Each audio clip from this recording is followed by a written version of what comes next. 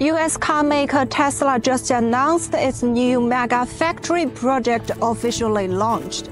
The factory is expected to produce megapacks like those behind me. They are expected to produce 10,000 megapacks a year and export it globally.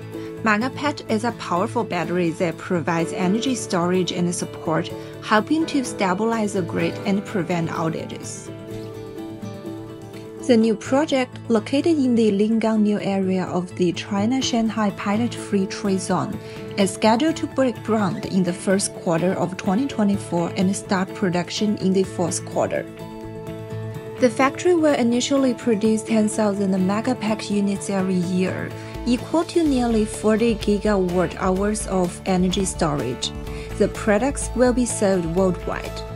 In January 2019, Tesla Shanghai Gigafactory broke ground here in Shanghai, and the company keeps investing and expanding its capacity ever since. This time yet again, Tesla chose Lingang new area of Shanghai FTZ as a confidence vote of Shanghai and China.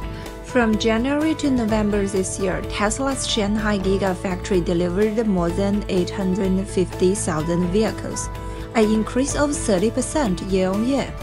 It has also evolved into Tesla's main global export center.